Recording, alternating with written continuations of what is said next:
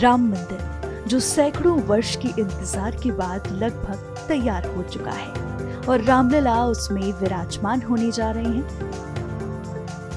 ऐसे में राम मंदिर को भव्य बनाने के लिए इस्तेमाल होने वाली हर एक चीज़ चर्चा में है।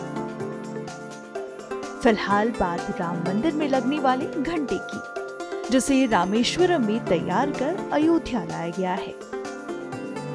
कहते हैं कि मंदिर में घंटी इसलिए स्थापित की जाती है, जिससे मंदिर में स्थापित भगवान की प्रतिमा में चेतना जागृत हो। ऐसे में रामलीला को जागृत करने के लिए ये खास घंटा तैयार किया गया है। इस घंटे की चर्चा होना लाजमी है, क्योंकि ये घंटा अपने आप में बिल्कुल खास है। इस घंटे का वज़न 600 किलो है, जिस पर लिखा है राम का नाम। इस घंटे को अष्ट धातु से तैयार किया गया है।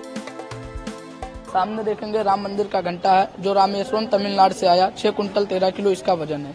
यही राम मंदिर का मेन घंटा है जो यहाँ से उठा करके राम मंदिर को ले जा करके लगाएँगे। आपको बता दें कि इस घंटे को तैयार करना कोई आसान काम नहीं था बल्कि इसे तैयार करने में 400 के करीब कर्मचारी लगे हैं जिन्होंने दिन रात एक कर इस विशाल घंटे को तैयार किया है।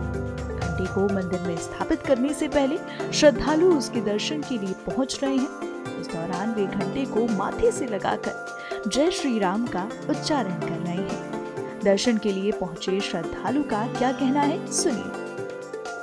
हम तेलंगाना के हैं।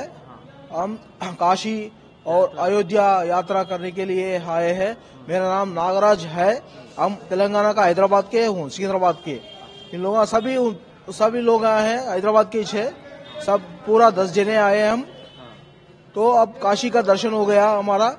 फिर इधर अयोध्या देखने के लिए राम मंदिर देखने के लिए आए हम। राम मंदिर में लगने जा रहा है।